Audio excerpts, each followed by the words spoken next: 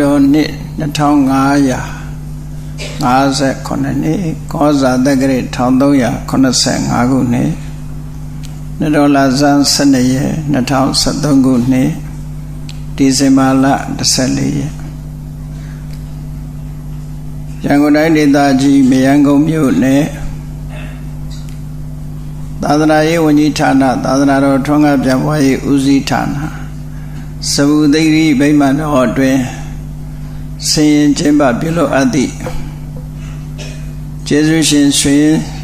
ရွှေဦးမင်းဆရာတော်ဘုရားကြီးအားပူဇော်သောအားဖြင့်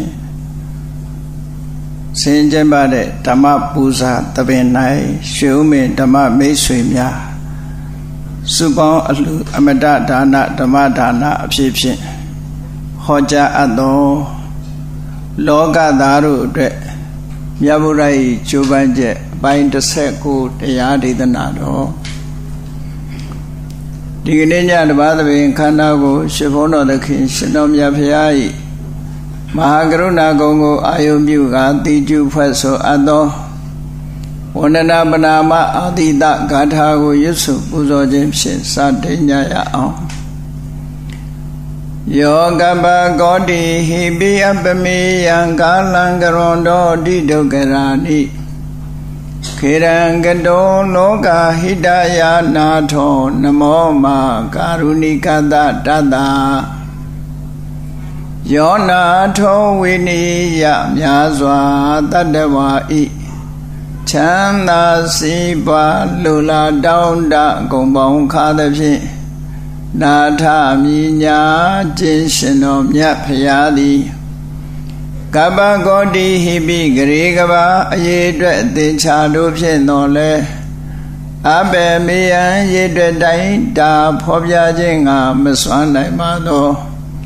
ကာလံလေးအသင်ချေသိမ့်နေကဘာရှိကြသော ကာလပတ်လုံးလောကဟိတယတတလောကဤအကျိုးစီးပွားအလို့ငါအတိဒုက္ခရာနိဥစ္စာအသက်ချေလက်အင်္ဂါ မေတ္တာကြီးမှသမိတာနှင့်တထာဇနီဆွန်ញင်းကြီးဟုကျတိထဝေငါးသွဲအစုအလွန်ခဲရင်တော်မူတို့ကိုကရွန်တော်ဘုရားဖြစ်ရန်ဤတန်ကြိုးကုတ်အာထုတော်မူရသည်ဖြစ်၍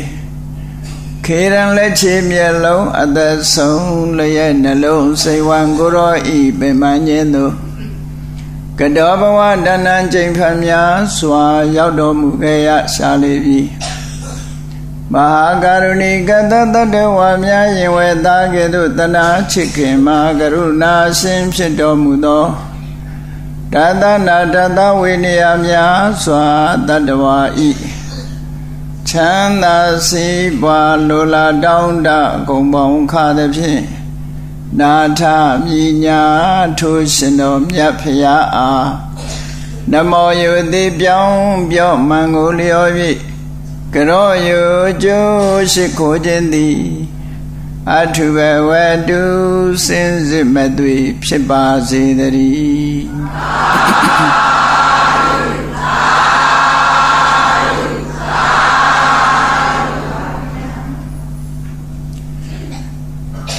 လောကသားတို့အတွက်မြတ်ဗုဒ္ဓ၏ကြိုးပမ်းချက်အပိုင်း30ကို ဘုရားကိုကြီးညိုလေးစားကြတဲ့ဘုရားဘာသာဝင်သူတော်စင်များအနေနဲ့ဘုရားမြတ်စွာဘုရားဖြစ်သူရောက်ပြီးတဲ့နောက်မှာအေးအေးတက်တက်သာသာဝိမု ക്തി ဒုက္ခကိုသာခံစားပြီးတော့ဒီလိုနေတာမဟုတ်ဘူးလောကသားတို့အတွက်ကျိုးပန်းဆောင်ရွက်တော်မူခဲ့တယ် ထို့သောကြိုးပမ်းဆောင်ရွက်တဲ့နေရာမှာအရာရာဟာလူသားတွေနဲ့ဆက်ဆံရတာဆိုတာအဆင်ပြေတဲ့ခါရှိတယ်လို့အဆင်မပြေတဲ့ခါလည်းအများကြီးရှိမြတ်ဗုဒ္ဓရဲ့ဘက်ကတော့ကရုဏာတော်နဲ့မဟာပညာတော်တွေအသုံးပြုပြီးတော့တရားတို့ကိုချင်းကပ်တာဆုံးမတာဆိုတော့ မြတ်စွာဘုရားဘက်ကတော့အမြဲတမ်းအစဉ်ပြေနေတယ်သို့တော့တရားတွေဘက်ကလူသားတွေဘက်ကမြတ်စွာဘုရားအပေါ်မှာအစင်မပြေမှုတွေအများကြီးဖြစ်တယ်ပေါ့နော်မြတ်စွာဘုရားကိုတချို့ကစန့်ကျင်ကြတယ်လူတိုင်းလူတိုင်းဘုရားကိုချီးညိုတာမဟုတ်ဘူးစန့်ကျင်မှုတွေပြုခဲ့ကြတယ်အများကြီးဘုရားမြတ်စွာရဲ့ဘဝကိုကြည်လိုက်မယ်ဆိုရင် စန့်ကျင်မှုတွေဆွဆွဲမှုတွေလောက်ကြံတပ်ဖြတ်ဖို့အသက်အန္တရာယ်ထိအောင်ကြိုးပမ်းမှုတွေဒါတွေဟာအချိန်ချင်းတွေ့ရတယ်လို့စာထဲမှာမှတ်တမ်းတင်ထားတာရှိတယ်ပေါ့နော်ဒါကြောင့်မို့လောကသားတွေအတွက်မြတ်စွာဘုရားဟာကျိုးပန်းဆောင်ရွက်တယ်ဆိုတာအရာခသိန်းတကူတော်နဲ့ကြီးပဲကြော်လွှားနိုင်တာမဟုတ်ဘူးတိခဏ်ချင်းခွင့်လွတ်ခြင်းဆိုတာတွေနဲ့ပဲ မြတ်စွာဘုရားမိမိလုပ်ငန်းအောင်မြင်အောင်မိမိလုပ်ငန်းဆိုဒီမှာဘဟုဇနဟိတဘဟုဇနဒုက္ခအများတရားတွေအတွက်အခြေအနေကောင်းတွေဖြစ်ပေါ်ဖို့ချမ်းသာဒုက္ခရဖို့ဆိုတဲ့ဒီဥจิตဥတည်ချက်နဲ့ကြိုးပမ်းအထောက်တော်မူခဲ့တာဒေသင်ကြီးတဲ့ကဘာတသိပါရမီဖြည့်ခဲ့တဲ့အချိန်တုန်းကလည်း အထူးအဖြင့်ပါရမီဖြည့်တဲ့အခါမှာအရေးပါတဲ့ပါရမီနှစ်ခုမေတ္တာပါရမီနဲ့ဥပေက္ခပါရမီလို့ဗြဟ္မဝိဟာရ၄မျိုးထဲမှာပါတဲ့မေတ္တာနဲ့ဥပေက္ခကို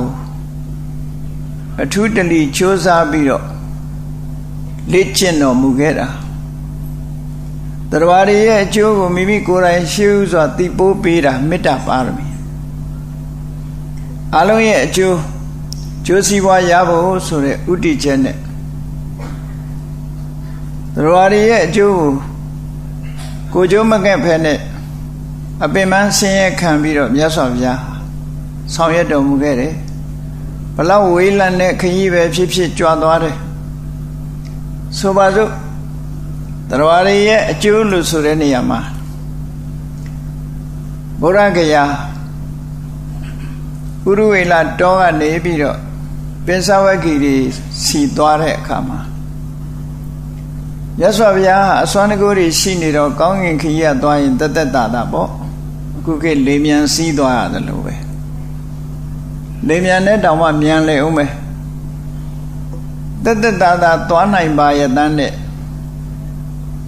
လမ်းမှာဆုံတွေ့ရမယ့်ဥပကကြီးရဲ့အကျိုးကျေးဇူးအတွက်မြတ်စွာဘုရားကုံကြောင်ခကြီးကကြွားတာ အဲ့ဒါမျိုးဆိုလို့တယ်ပေါ့နော်အရာရာတကူအနေနဲ့အသုံးချသွားတာမဟုတ်ဘူးဥပကကြီးရဲ့အကျိုးလမ်းမှာဆုံတွေ့ရမယ့်ပုဂ္ဂိုလ်ရဲ့အကျိုးအတွက်မြတ်စွာဘုရားပင်မဆင်းရဲခံပြီးတော့ခရာဒေသကနေပြီးတော့ဆက်ရှိယူဇနာဝေးกว่าတဲ့ပါရဏတိဣတိပတနာဘက်ကိုခြေချင်းကုန်းချောင်းခရီးကနေကြွသွား အဲ့ဒါလို့တရဝရုရဲ့လောကသားတို့ရဲ့အကျိုးအတွက်မြတ်စွာဘုရားကိုပင်ပန်းခံပြီးတော့ကျိုးပန်းအထုတ်တော်မူခဲ့တာဖျားဖြစ်တော့ရောက်ပြီးတဲ့နောက်သက်တော်46နှစ်အရွယ်17ဝါမြောက်ဝါမြတ်စွာဘုရားဘယ်မှာသတင်းသုံးတယ်လဲလို့ဆိုတော့ နာလာဆိုတဲ့ပုံနာရွာမှာအဲ့ဒီပုံနာရွာရဲ့အနီးတောရချောင်းမှာမြတ်စွာဘုရားသတင်းသုံးတယ်သို့တော့နာလာဆိုတဲ့ပုံနာရွာမှာထူးခြားတဲ့အဖြစ်အပျက်တွေကိုတော့ပိဋကတ်ထဲမှာမှတ်တမ်းတင်ထားတာမရှိဘူးအဲ့ဒီပုံနာရွာကဘယ်နားမှာရှိသလဲလို့ဆိုလို့ရှိရင်တော့ရာဇဂိုမြို့ကိုရံပတ်ပြီးတော့နေတဲ့ တောင်ငါးလုံးအဲ့ဒီတောင်ငါးလုံးရဲ့အပြင်ဘက်တောင်ဘက်မှာရှိတဲ့ဒေသထဲမှာရှိတယ်အဲ့ဒီဒေသရဝန်းကြီးကိုဒက္ခိဏခီရိလို့ခေါ်တယ်ရာဇဂိုမြို့ရံပတ်နေတဲ့တောင်ငါးလုံးရဲ့တောင်ဘက်မှာရှိတဲ့လွင်ပြင်ဒေတာကြီးတစ်ခုကိုဒက္ခိဏခိရိအယလို့အဲ့ဒီဒက္ခိဏခိရိအယတနေရာမှာနာလာဆိုတဲ့ပုံနာရွာကြီးတရွာရှိတယ်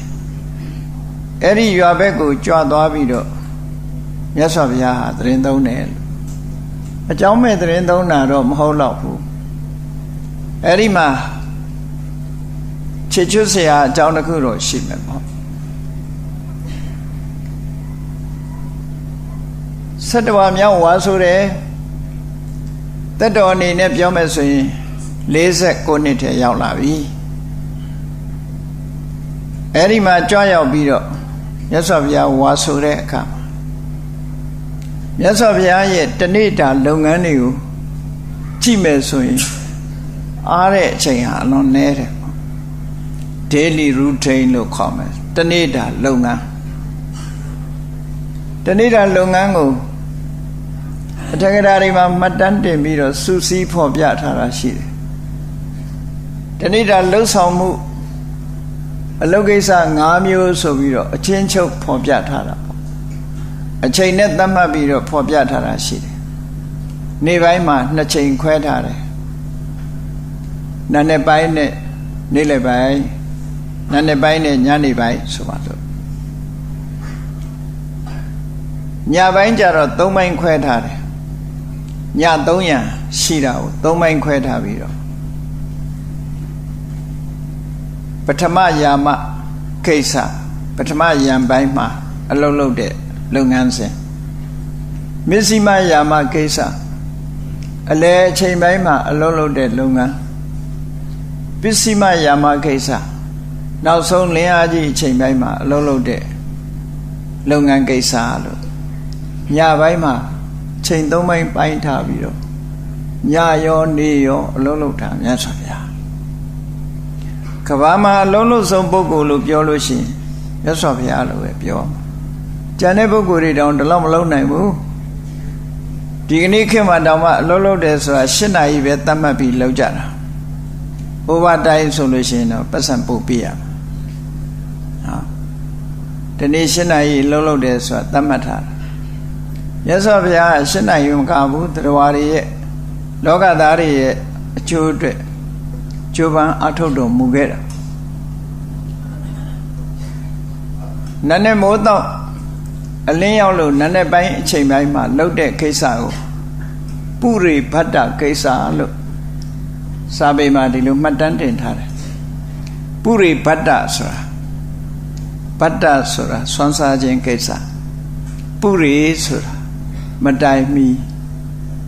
ဒီလိုဆိုလိုတာပေါ့ပုရိဗတ္တကိစ္စ ဆွမ်းစားတဲ့အချိန်ရဲ့ရှေ့ပိုင်းရှေ့ပိုင်းဆိုလိုတာနာနဲ့ပိုင်းလုပ်ငန်းတစ်ခုနာနဲ့ပိုင်းမှာလုပ်တဲ့လုပ်ငန်းတစ်ခုကိုကြည့်ကြရအောင်မြတ်စွာဘုရားဘယ်လိုအလုံးလုံးတယ်လဲဆိုတာကိုကြည့်မယ်ဆိုရင်ခုခေတ်လူတွေမှာယုံတဲ့ချိန်နဲ့ယုံစင်းချိန်နဲ့ရှိသေးတယ်မြတ်စွာဘုရားမှာယုံတဲ့ချိန်ယုံစင်းချိန်ကန့်တတ်ထားတာတော့မရှိဘူးတဏီကုံလုံးလုံးတယ်တဏီကုံလုံးလုံးသမျှ ကိုချိုးအတွက်ဘာမှမပါဘူးခေါဏပြောတဲ့မေတ္တာကိုအခြေခံပြီးတော့လုံးလုံးတာမေတ္တာယပုပ္ပကာရိနောလို့ဆိုတဲ့အတိုင်းတရားရည်ရဲ့အကျိုးစီးပွားကိုလိုလားလို့မြတ်စွာဘုရားအလုံးလုံးတယ်အဲ့ဒါလို့လုံးလုံးတဲ့အခါမှာတရားတွေငါးပုံမှာကြည်ညိုလာပါစေဆိုတဲ့စိတ်ဓာတ်မျိုးမဟုတ်ဘူးဒီထဲမှာဆန့်ကျင်မဲ့လုပ်တဲ့တရားတွေမြောင်များစွာလောကလူသားတွေမြောင်များစွာ ကြုံတွေ့ရတဲ့အခါမှာမြတ်စွာဘုရားအနေနဲ့မိမိကိုယ်ကိုရှ िख ိုးပူဇော်တာပဲဖြစ်စေဆဲရီတိုင်းထွားတာပဲဖြစ်စေဘယ်ရာကိုမှကရုတစိုက်မှတ်သားခြင်းမထားဘူးဆဲသူနဲ့ရှ िख ိုးသူတန်းတူထားနိုင်တယ်ပေါ့မိမိကိုစော်ကားသူနဲ့ပူဇော်သူတန်းတူထား ဒီလူကတော့ငါ့ကိုပူဇော်တဲ့လူဆိုပြီးတော့သူ့အတွက်ပို့လောက်တာမရှိဘူးဒီလူကတော့ငါ့ကိုစော်ကားတဲ့လူပဲဆိုပြီးတော့သူ့အတွက်ရှောင်ကွင်းသွားတာမရှိဘူးအလုံးညီတူညီမျှစိတ်သက်ထားနိုင်တာဥပိ္ပခပါရမီလို့ခေါ်တယ်တရားတွေပေါ်ကတုံ့ပြန်လာမဲ့အကျိုးကျေးဇူးတွေကိုဘာတစ်ခုမှမမျှော်မှန်းဘူးသူတို့ရဲ့အကျိုးတွက်တဲ့တက်တက်ပဲစဉ်းစားပြီးတော့မြတ်စွာဘုရားကြိုးပမ်းအထောက်ခဲ့ သူတို့ရဲ့အကျိုးအတွက်ခကောင်းကျိုးချမ်းသာတွေရပါစေဆိုတဲ့စိတ်နဲ့ရနိုင်တဲ့မြတ်အကျိုးကျေးဇူးတွေရပါစေအတိုင်းတာတစ်ခုရလူတွေဟာတချို့ပုဂ္ဂိုလ်တွေကမျက်မှောက်ဘဝမှာတင်အကျိုးရှိနိုင်တယ်နောက်ဆုံးမှာမြတ်စွာဘုရားဟောလို့စကလုံးလေးတစ်လုံးပဲကြားလိုက်ရပါစေဒီဘဝမကျွတ်ချင်နေ ဒီစကလုံးလေးဟာအနာဂတ်အတွက်သူ့ရဲ့ရင်ထဲရောက်သွားတယ်ဆိုလို့ရှိရင်အကျိုးရှိတာပဲလို့ဟောတာပဲမြတ်စွာဘုရားဆိုပါစို့စံကျင်မဲ့လုပ်တဲ့သစ္စကကြီးဆိုထင်သေးမြင်သေးမြတ်စွာဘုရားနဲ့တွေ့ရင်ဘယ်လိုလုံးလိုက်မယ်ဘယ်လိုပြောလိုက်မယ်နဲ့ချိန်ဝါပြီးတော့သွားတဲ့သစ္စကပြပိုက်ကြီးပရမကျိန်တွေ့တယ်ရှုံးသွားတယ်အရှုံးပေးလိုက်ရတယ်မြတ်စွာဘုရားကိုတုပြိုင်ပြီးတော့သူမပြောနိုင်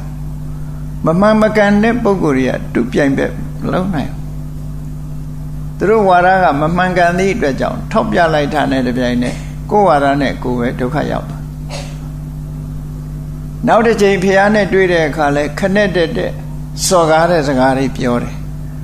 သို့တော်မြတ်စွာဘုရားကတိခံပြီးတော့တရားဓမ္မကိုဟောပြောပေးတယ်ဘာဖြစ်လို့ဟောတာတုံးဆိုရင် အေးနောက်တစ်ချိန်ကျတော့ဒီစကလုံးတွေသူ့ရင်ထဲရောက်သွားလို့ရှင်တော့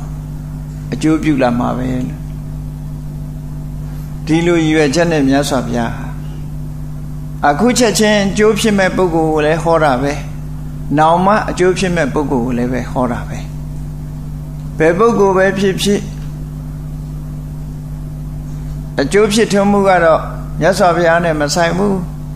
သူတို့နဲ့ပဲဆိုင်လောကသားတွေနဲ့ပဲဆိုင်တယ် မြတ်စွာဘုရားကတော့တညီတဲ့လောကသားတွေပေါ်မှာစိတ်နှလုံးဟာထားတယ်လို့အဲ့ဒါနဲ့ပတ်သက်ပြီးတော့မေခွန်းတစ်ပုဒ်တက်လာဘူးတယ်မြတ်စွာဘုရားကို ထောက်ပြပြီးတော့ပြစ်တင်ညင်ညတယ်ပေါ့လေရှင်ဂေါရမဟာမဟာကရုဏာရှိတယ်အလုံးကိုတညီတဲ့လှုပ်တယ်လို့ရှင်ဂေါရမပြောတယ် အဲ့ဒီလိုပြောတဲ့အခါပြောတာနဲ့ပတ်သက်ပြီးတော့လူတွေကဘာထောက်ပြတော့ဆိုဘာဖြစ်လို့ယဟန်တွေကြတော့တရားကိုအသေးစိတ်ခေါ်ပြီးတော့ဘာဖြစ်လို့ဘာသာခြားတွေကြတော့တရားကိုတမ္မာမြတာဟောတယ်လေလို့အဲ့ဒါခွဲခြားဆက်ဆံမှုပဲမဟုတ်လားလို့ဆိုပြီးထောက်ပြတဲ့ဟာတွေရှိတယ်မြတ်စွာဘုရားကအတိုင်းတာတစ်ခုအထိလောက်ထားကြည့်ပဲအကုန်လုံး ခံယူနိုင်တဲ့ပုဂ္ဂိုလ်ရဲ့အရေးချင်းအားလျော်စွာခံယူမှုကသာကွဲပြားသွားတာမြတ်စွာဘုရားလောက်တာတော့အတိုင်းတာတစ်ခုတည်းလောက်ပြီအဲ့ဒီမှာမြတ်စွာဘုရားကဘလို့ရှင်းပြတော့ဆိုလို့ရှိရင်လောကမှာတဲ့စိုက်ပျိုးရေးလုပ်တဲ့လူတယောက်ကိုချီပေါ်တဲ့စိုက်ပျိုးရေးလုပ်တဲ့လူတယောက်မှာမြေ၃စားမြေခွက်၃ခွက်သူ့မှာရှိတယ်မြေတစ်ခွက်က ဖာတလိုက်စာတွေနဲ့မြေဩဇာအလွန်ကောင်းတဲ့မြေခွက်မြေတစ်ခွက်ကတော့ခန့်ညံ့ညံ့ဟိုတစ်ခွက်ကတော့ကြက်တီကုန်းအဲ့ဒီမှာဒီမြေ၃ခွက်စလုံးသူစိုက်ပျိုးတာပဲစိုက်ပျိုးတဲ့အခါမှာပထမမြေခွက်ကတော့သီးနှံတွေဖွင့်ဖြိုးပြီးအများကြီးရလုံးသလောက်အကျိုးရှိတယ်ဒုတိယမြေခွက်ကြတော့ လုံးသလောက်အကျိုးမဖြစ်ဘူးသို့တော့ဒုတိယမြေခွက်ထဲလဲစိုက်ပျိုးမှုလုပ်ပြီးတတိယမြေခွက်ကြတော့ကြတိကုန်းဆိုတော့ဘာဆိုင်ဆိုင်သိအောင်မြင်မှုမရှိဘူးသို့တော့အဲ့ဒီမြေခွက်လည်းအလကားမထားဘူးစိုက်ပျိုးပေးတယ်အဲ့ဒီသုံးခွက်စလုံးစိုက်ပျိုးပေးတယ်လို့ပဲမြတ်စွာဘုရားဟာလဲလောကသားတွေအဆင့်၃ဆင့်အလိုက် တရားဓမ္မကိုဟောပြောပေးတယ်ယဟန်တွေကိုကြိုးစားပန်းစားအသေးစိတ်ဟောပြောပေးတယ်ဆိုတာယဟန်တွေကမြေဩဇာကောင်းတဲ့မြေနဲ့အလားတရံတူတယ်ငကိုတဲကတတ္တာတွေဝီရိယတွေတတိတွေပညာတွေဆိုတဲ့အနေအထားတွေကအလွန်ကောင်းတယ်ဒါကြောင့်မို့လို့ဒီပုဂ္ဂိုလ်တွေကိုကြိုးစားဟောခြင်းအားဖြင့်ထိုပုဂ္ဂိုလ်တွေရဲ့အသိဉာဏ်ဟာ ရင့်တန်လာပြီးတော့အကျိုးကျေးဇူးဟာအပြည့်ဝရလာအေးဒီဘဝမရဘူးနောက်ဘဝခညံ့ညံ့ဆိုတဲ့ပုဂ္ဂိုလ်တွေအတွက်လဲမြတ်စွာဘုရားဟောပြောပေးတယ်။ဘာနဲ့တူတုံးဆိုလို့ရှိရင်မြေညံ့ပေါ်မှာလဲစိုက်ပျိုးပေးတယ်။ရတဲ့သီးနှံအတုံးကြတာပဲဆိုပြီးစိုက်ပျိုးပေးတယ်။လုံးဝကြက်တီးကုန်းကြီးပေါ်မှာစိုက်တာတော့ မြင်းစာနွားစာရရင်လည်းရမှာပဲဆိုတဲ့အနေနဲ့စိုက်ပျိုးတာတဲ့။အဲ့ဒါလိုပဲဘာသာခြားပုဂ္ဂိုလ်တွေမြတ်စွာဘုရားရဲ့ဂုဏ်ကျေးဇူးကိုမသိတဲ့ပုဂ္ဂိုလ်တွေကိုလည်းပဲမြတ်စွာဘုရားကနွားစာမြင်းစာလေးရရနောက်ဘဝဝါသနာလေးပါပါဆိုဟောလိုက်သေးတာပဲလို့ဒီလိုပြောတာနော်ပုဂ္ဂိုလ်အလိုက်မြတ်စွာဘုရားဟာအလုံးလုံးဆောင်ရွက်ပေးတယ်ပေါ့အလဟတတော့မပြစ်ပယ်ဘူးတဲ့ အကျိုးဖြစ်ထွန်းမှုကသူတို့ရဲ့အတိုင်းတာကြောင့်ဖြစ်တာမြတ်စွာဘုရားကြောင့်ဖြစ်တာမဟုတ်ဘူးမြေချောင်းမို့လို့တိနံထွက်တယ်မထွက်ဘူးဆိုတာမြေရဲ့တုတ်ပြတ်မှုသာဖြစ်တယ်စိုက်ပျိုးတဲ့လူနဲ့မဆိုင်ဘူးဒီလိုရှင်းပြတာပေါ့နော်အေးလောကသားတွေအတွက်ကျိုးပန်းတဲ့အခါမှာပုရိပတ်တခိစ္စလို့နတ်နဲ့စောစောမြတ်စွာဘုရား နေ့စဉ်နဲ့အမြပစ္စုတသမယလို့ခေါ်တယ်အလင်းရောင်ကြီးလေးတွေရောက်လာပြီအယောင်လေးတွေဖြူးလာပြီဖြူအောင်တန်းလာတဲ့အချိန်လေးပစ္စုတသမယအမောင်ကင်းပြီးတော့နေမထွက်သေးဘူးအလုံးသတိထားမိပါလိမ့်မယ်တိမ်တိုက်ကင်းစင်တဲ့နတ်နခင်းကိုကြည့်မယ်ဆိုရင်နေအောင်လာသေးတာမဟုတ်ဘူးအမောင်ပြောက်ပြီးတော့အယောင်လေးကဖြူလာတယ်နော် အယောင်လေးဖြူလာတယ်အလင်းလေးတွေပေါ်လာတယ်ငှက်ကလေးတွေမြည်နေကြတယ်အဲ့ဒီအချိန်အဲ့ဒီအချိန်မှာပစ္စုတသမယမြန်မာစာပေမှာတော့နာနဲ့စောစောလို့ပဲဒီလိုပဲရေးတယ်အမှန်ပြောက်သွားတဲ့အချိန်လေးမှာမြတ်စွာဘုရားသခင်ကိုရောမြတ်စောစောအိယာကထတယ်ထပြီးတဲ့အခါမှာမြတ်စွာဘုရားကိုဝကြီးဦးငယ်ပြုတဲ့ပုဂ္ဂိုလ်ကအစင်သစ် မျက်နှာသိဖို့ရည်တွေပါလေအစင်သစ်လုပ်ပေးတာအဲ့ဒီလှုပ်ပေးတဲ့ရေနဲ့မြတ်စွာဘုရားစောစောစီစီမျက်နှာတစ်တယ်တဲ့အဲ့ဒီလိုမျက်နှာတစ်တာဟာမြတ်စွာဘုရားခန္ဓာကိုယ်ကအညစ်အကြေးတွေရှိလို့လားလို့ဆိုဒီလိုတော့မဟုတ်ဘူးတဲ့မြတ်စွာဘုရားရဲ့ခန္ဓာကိုယ်မှာအညစ်အကြေးအလွန်နဲတယ်ပေါ့အလွန်နဲတယ်တာမန်ပုဂ္ဂိုလ်တွေလိုအိတ်ဆက်တာရုပ်ပြက်ဆင်းပြက် ပါဇက်ကအပုပ်ရည်တွေထွက်လာအောင်အိတ်ထာမျိုးမှမဟုတ်တာခိတခဏလေးမေးဆက်တာဆိုတော့မြတ်စွာဘုရားရဲ့မျက်နှာတော်မှာတန်ရှင်းနေတာပဲသို့တော့နနဲ့စောစောမျက်နှာတက်လိုက်တဲ့ဖြင့်ရုပ်ခန္ဓာအနေနဲ့လန်းဆန်းတန်ရှင်းသွားတယ်တန့်ပြန်သွားတယ်ဆိုတဲ့အနေနဲ့ဝကြီးငယ်ပြုတဲ့ပုဂ္ဂိုလ်တွေကုသိုလ်ရပါစေဆိုတဲ့ရည်ရွယ်ချက်ခန္ဓာကိုယ်မှာလည်းပဲ အေးတက်ကလေးလန်းဆန်းမှုလေးရပါစေဆိုတဲ့ရည်ရွယ်ချက်နဲ့မြတ်စွာဘုရားမျက်နှာတစ်တယ်တစ်ပြီးတဲ့အခါမှာတပါးတဲ့တိတ်ဆိတ်ငြိမ်သက်စွာနားနေတယ်နားနေတယ်ဆိုတာဒီတိုင်းကြီးငုတ်တုတ်ကြီးထိုင်ပြီးတော့ဟိုစဉ်းစားဒီစဉ်းစားဒီလိုတော့မဟုတ်ဘူးเนาะနိဗ္ဗာန်ကိုအာယုပြုပြီးတော့နေတယ်တဘာဝဝင်စားတယ်လို့ခေါ်တာပေါ့ဖလားတဘာဝဝင်စားပြီးတော့နေတယ် အဲ့ဒီဖလားတဘာဝကထားလိုက်တဲ့အခါမှာနန်းနဲ့စောစောလုပ်ငန်းစဖို့ရအတွက်လောကကြီးရဲ့လောကသားတွေကိုကြည့်လိုက်တယ်နန်းနဲ့ခင်းမှာလောကကြီးတစ်ခုလုံးကိုကြည့်တာကိုစာပေကျမ်းဂန်မှာဘယ်လိုဆိုတော့ဆိုသဗ္ဗညုတဉာဏ်ကွန်ရဲ့ကြီးကို ဖြန့်ကျက်တယ်လို့ဒီလိုပြောတာစာထဲမှာ flower ဖြစ်အောင်ရေးတဲ့သဘောပေါ့နော်သဗ္ဗညုတဉာဏ်ကွန်ရဲ့ကြီးနဲ့လောကကြီးကိုဖြန့်ကျက်ချင် ခုခေတ်သုံးတဲ့ network ပေါ့နော်လောကကြီးတစ်ခုလုံးကိုဉာဏ်ကွန်ရက်နဲ့ဖြန့်ကျက်ကြည့်တယ်လို့ဆိုတဲ့အချိန်မှာနည်းနည်းပိုင်းအခုလို့အစောကြီးကြည့်တဲ့အခါမှာဘယ်အစကြည့်တော့ဆိုဝေးတဲ့အရက်တွေကနေစပြီးတော့ကိုရောသတင်းသုံးတဲ့ခန္ဓာကိုယ်ကြီးတိုက်အထိဒီခြားထဲမှာကွက်လက်မကြံရအောင်လောကသားတွေဘသူကိုတရားဟောရမလဲဘ ယ်ပုဂ္ဂိုလ်တွေဟာဒီကနေ့ငါပြောရင်နားလည်မလဲထထူးခြားတဲ့ပုဂ္ဂိုလ်တွေများရှိမလားလို့ကြည့်တာစာထဲမှာအတိုင်းပြောရင်စัจ java လာနှခမ်းကနေစပြီးတော့မိမိသတင်းသုံးတဲ့နေရာထိအောင်အဝေးကနေပြီးစပြီးတော့ကြည့်လိုက်တာအနည်းထိလို့ဆိုတယ်။ဘာကြောင့်အဝေးကနေစကြည့်တယ်လဲလို့ဆိုဝေးလံတဲ့ဒေသ မကြခင်မိုးလင်းတော့မှဖြစ်တော့ဝေးလံတဲ့ဒေသတွေသွားရင်လည်းအချိန်ရတဲ့နေရာတွေပေါ့။ဒါကြောင့်မို့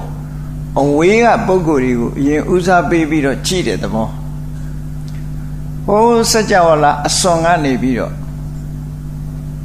မိမိသတင်းသုံးတဲ့နေရာအနီးထီအောင်ကွန်ရက်ဖြန့်ကျက်ပြီးတော့ကြည်တယ်ကျွတ်ထိုက်တဲ့တရားတွေတွေ့လို့ရှိရင်မြတ်စွာဘုရားအခြေအနေတွေကိုဆင်ញင်သုံးသပ်ပြီးတော့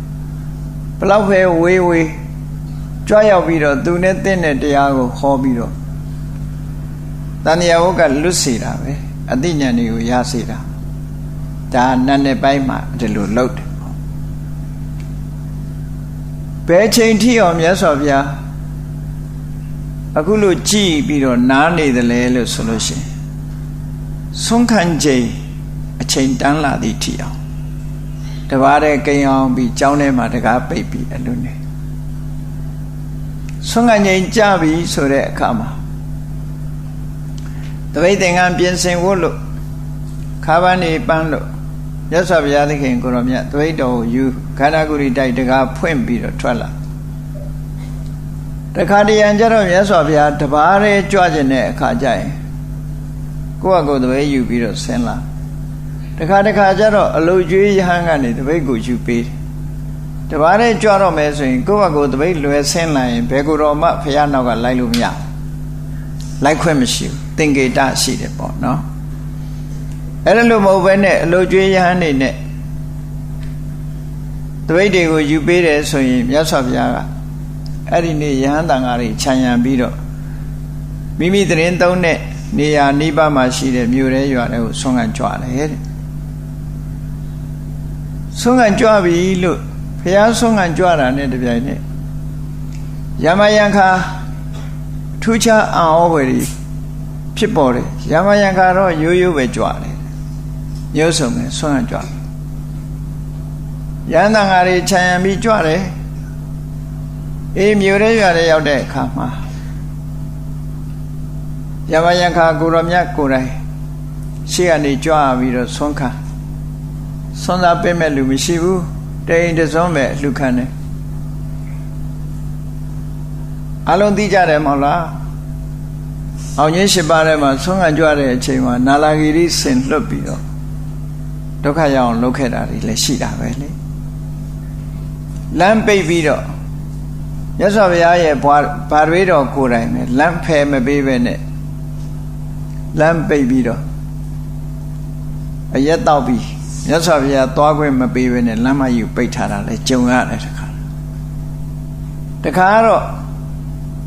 မနသားကနေပြီးတော့နှောက်ရှက်လို့မြို့ရဲရွာတဲ့လူတွေက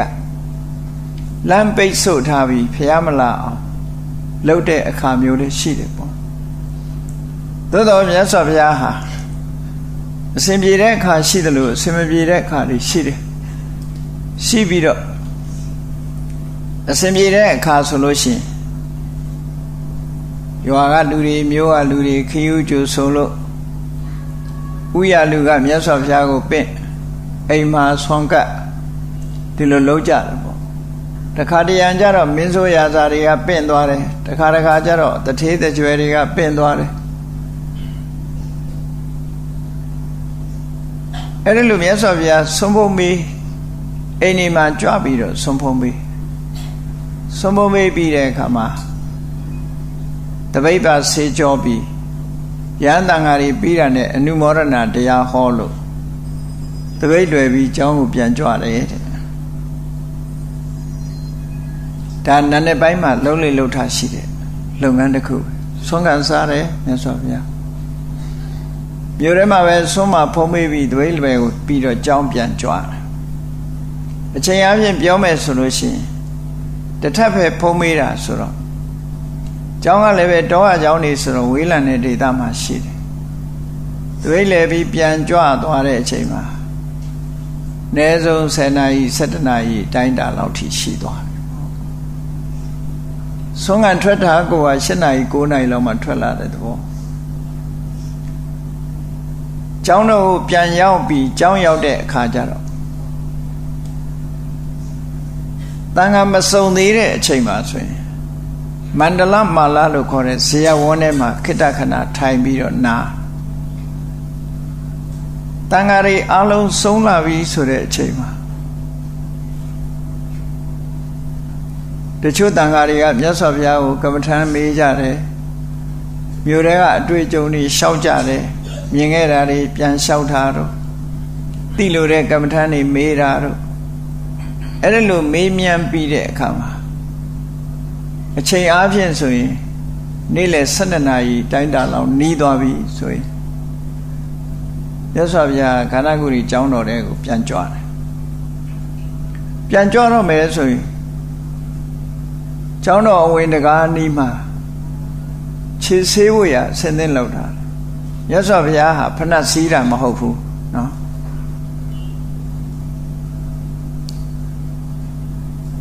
လေကားရင်မှာခင်းထားတဲ့ကတင်မှာထိုင်ပြီးတော့ခြေဆေးတယ်ခြေဆေးနေတဲ့အချိန်မှာရဟန်းတန်ဃာတွေကလာပြီးတော့အနိနာကနေဝကြိုးငယ်ပြုတ်ကြတယ်အဲ့ဒီအချိန်မှာယဟန်တန်ဃာတွေကိုနေတိုင်းဆုံးမဩဝါဒပေးတာရှိတယ်အပမဒိနဘိခဝေတံပါဒိဋ္ဌာ အေးအပမာဒဆိုတဲ့တတိတရားနဲ့ပြည့်စုံအောင်နေကြဘုရားပါတော်ဒုံလဘောလောကသမိလောကမှာဖျားပွင့်တဲ့အချိန်ဆိုတာအမတမရခဲ့တယ်မနုဿတ္တဘာဝဒုံလဘောလူဖြစ်ဆိုတာလည်းအမတန်ရခဲ့တယ်ဒုံလဘတရာတံပတ္တိတရာနဲ့ပြည့်စုံမှုဆိုတာလည်းအမတန်ရခဲ့တယ်အဲ့ဒီနေရာမှာဒုံလဘတံပတ္တိဆိုတဲ့စကားလုံးလည်းရှိတယ် တံပတ္တိဆိုတာမျက်စိနာနာလျာကိုအင်္ဂါရက်တွေပြည့်စုံတဲ့ဘဝဆိုတာလည်းအမှန်မှရခဲ့တယ်အသိဉာဏ်ရှိတဲ့ဘဝဆိုတာလည်းရခဲ့တယ်ပြည့်စုံတဲ့ဘဝအေးလူဖြစ်လာပြီမဲ့လို့မွေးရပါရစီမမြင်တာတို့မွေးရပါနားမကြားတာတို့ဒါမျိုးတွေရှိသေးတာတံပတ္တိလို့ဆိုတဲ့ရုပ်ဆင်းအင်္ဂါနဲ့လည်းပြည့်စုံတယ် အခြေအနေကောင်းတယ်ခံယူနိုင်တဲ့အသိဉာဏ်ရှိတယ်ဆိုတဲ့တမ္ပတ္တိတွေနဲ့ပြည့်စုံမှုဆိုတာလည်းမတန်ခဲရင်တဲ့တတ္ထမတဝနံဒုံလပံသူတော်ကောင်းတရားကြားနာဖို့ဆိုတာလည်းမတန်ခဲရင်တဲ့ပပိစိတဘာဝဒုံလဘောယံဖြစ်ရဖို့ဆိုတာလည်းအမတန်မှခဲတယ်လို့ဧဝံဓိဝတိဓိဝတိဩဝတတိလို့ဆိုတဲ့အတိုင်းရသော်ဘုရားဟာ ယဟန်တွေကိုနေ့စဉ်ဆုံးမတဲ့ဩဝါဒစကားပဲဆိုလိုတာကရနေတဲ့ကိုရထားတဲ့အခွင့်အရေးတွေကိုလက်မလွတ်စေကြနဲ့လှုပ်တဲ့လှုပ်ထိုက်တာလှုပ်ကြလို့ဒီလိုတတိပေးစကားပါပဲတတိပေးစကားပြောတာပဲအပမဒေနဘိက္ခွေတံပါဒိဋ္ဌဒီစကားကမြတ်စွာဘုရားရဲ့လက်ဆုံးလက်သုံးစကားပဲပမာဒဆိုတာ ကာမဂုဏ်အာယုန်နေထဲမှာပဲစိတ်ကိုလွတ်ထားကုသိုလ်ဘက်ကိုလုံးဝတတိမရတာပမာဒလို့ခေါ်တယ်အပမာဒဆိုတာအဲ့ဒီပမာဒဒီကနေယုံထွက်ထားပြီးတော့ကုသိုလ်ကောင်းမှုဘက်ကိုလုံးဝမဲ့လုပ်ငန်းဘက်ကိုတတိယအဲ့တော့တတိယမဲ့ချက်တွေကဘာတွေတုံးလို့ဆိုကြည့်လေအခုခေတ်ဖျားပွင့်နေတယ်ရခဲ့တဲ့လူဘဝရနေတယ် လူဘဝမှာပြည့်စုံတဲ့အနေအထားတစ်ခုရနေတယ်သို့မဟုတ်တရားတရားရှိတဲ့အနေအထားမျိုးရနေတယ်သူတော်ကောင်းတရားကျမ်းနာခွင့်တွေရတယ်ယဟန်ဖြစ်ကိုရနေတယ်ဆိုတာဟာဒီဟာအမတ်တမဲ့မနေရဘူးခြေနေကောင်းတွေရနေတယ်အဲ့ဒီခြေနေကောင်းတွေကိုအသုံးချပြီးတော့တရားဓမ္မကိုကြိုးစားကြလို့မြတ်စွာဘုရားဒီလိုဆိုလိုတာပေါ့အဲ့ဒီလိုဆုံးမပြီးတာနဲ့တပြိုင်တည်း ကန္နဂုရီကျောင်းထဲမှာမြတ်စွာဘုရားဝင်သွားတယ်ဝင်သွားလိုက်တာနဲ့တကားပိတ်လိုက်တာမြတ်စွာဘုရားကျောင်းတော်ထဲမှာနေရင်အမြဲတမ်းတကားပိတ်ထားပြင်မဲ့ကတွေးကျင်တဲ့ပုဂ္ဂိုလ်ကတကားလေးခောက်ရတယ်တကားခောက်တဲ့အလေးထားရတော့ဗမာပြည်မှာတော့သိမတွေ့ရအိန္ဒိယနိုင်ငံဗာရာဏသီမှာနေတော့ကဗမာဘုန်းကြီးကျောင်းပတ်ဝန်းကျင်မှာကလားအိမ်နေရှိတာ နေ့လယ်ဆိုခဏခဏကြားနေရတာတောက်တောက်တောက်တောက်ဟိုကတောက်တောက်တောက်တောက်ဒီကတောက်တောက်တောက်တောက်နဲ့စူးနေတကားဖွင့်ထားတဲ့လို့မရှိဘူးတကားပိတ်ထားတာမြဲတမ်းတကားခောက်တန်နေကြားနေရအိန္ဒိယထုံးစံမြတ်စွာဘုရားလည်းတကားခောက်တကားခောက်တဲ့နေရာမှာဒွါရကုတ္တနဝတ္တာတယ်တကားခောက်ပုံခောက်နည်း၃မျိုးရှိတယ်စက်မိလို့မှတ်သားစရာတကားခောက်ပြီးဆိုရင် လူတွေဆိုလို့ရှိရင်တကားအလဲကောင်တောက်ခတ်တဲ့နေရာလောက်ကခောက်တယ်အဲ့ဒါလူပဲနတ်တွေလာလို့ရှိရင်အပေါ်ထိပ်ဖြားဘက်မှာခောက်တယ်နတ်တွေပြမာတွေကထိပ်ဖြားမှာခောက်တယ်နဂါးတွေဘာတွေလာလို့ရှိရင် အောက်အခြေမှာခောက်တယ်ဒါဘသူဆိုတာကိုကြွတင်သိနိုင်တယ်ပေါ့နော်တကားခောက်တန်နဲ့ပဲကြွတင်သိရတယ်အဲ့ဒီချိန်မှာမြတ်စွာဘုရားက လက်တော်ဆန်တန်းလိုက်တာနဲ့တကားကိုထဖွင့်တာမဟုတ်ဘူးဘုရားရဲ့အလိုဆန္ဒနဲ့တကားသူကသူပွင့်သွားတာအော်တိုမက်တစ်လို့ပြောရင်ပြောပေါ့နော်စိတ်နဲ့တကားဖွင့်ပေးလိုက်အဲ့ဒီချိန်မှာဝင်လာကြအဲ့တော့မြတ်စွာဘုရားကျောင်းတော်တွေဝင်သွားတဲ့အခါရဟန်းတော်တွေကလည်းအသီးသီးတေတပင်ရင်ဝါရပင်အောက်မိမိတို့နှစ်သက်ရာနေတန်ရာဌာနကြွသွားကြတယ်အကုန်လုံး ဒါရှိကမြင်ခွင့်ဒီလိုပဲအဲ့တော့ပုရိပတ်တကိစ္စဆုံးစားမိရှေ့ပိုင်းမှာလှုပ်တယ်သို့မဟုတ်နန်းတဲ့ပိုင်းလှုပ်တဲ့လုပ်ငန်းတစ်ခုအဲ့ချိန်မှာပြီးသွားပြီကျောင်းတော်ထဲဝင်သွားတဲ့အခါမြတ်စွာဘုရားယမယံခါခိတ္တခဏလျောင်းဆက်တာမျိုးရှိတယ်ခန္ဓာကိုယ်ရဲ့ပင်ပန်းမှုတွေပါနေနဲ့ဂျုံတဲ့အခါလျောင်းဆက်တယ်တမ္မာအပြင်တော့ လျောင်းဆက်တာမျိုးသိမလုပ်ဘူးလူရဲ့ခန္ဓာကိုယ်ဆိုတာတဘာဝအတိုင်းပဲလေနာကျင်တာဆိုတာရှိတာပေါ့ရသော်ဘုရားခန္ဓာလဲနာကျင်၆နှစ်ပတ်လုံးဒုက္ခရစရိယာကျင့်ထားတဲ့မအိပ်မနေစ조사ပြီးကျင့်ခဲ့တဲ့ဓာန်တွေကဘုရားဖြစ်လာတဲ့အခါမှာပြန်ပေါ်လာတာရှိတယ်။ဒါမှမဟုတ်တစ်ခါတစ်ခါမြတ်စွာဘုရားကပိဋ္ဌိမေအာခိလာယတိငါကြောအောင်နဲ့ တမဟအာယိတမိခါလေးဆန့်လိုက်အောင်မယ်ဆိုပြီးတော့လဲလျောင်းတာမျိုးလှုပ်တာရှိတယ်ပေါ့။အဲ့ဒါလို့နေပိုင်းရောက်တဲ့အခါကျောင်းတော်ရဲ့ရောက်သွားရင်ခန္ဓာကိုယ်အနေထားကိုကြည့်ပြီးယမယံခါမြတ်စွာဘုရားဟာခိတ္တခဏအညောင်းဆန်းတဲ့အနေနဲ့လဲလျောင်းနေဣရိယာပုတ်ဘလို့အိဋ္ဌာတော့မဟုတ်ဘူးပေါ့နော်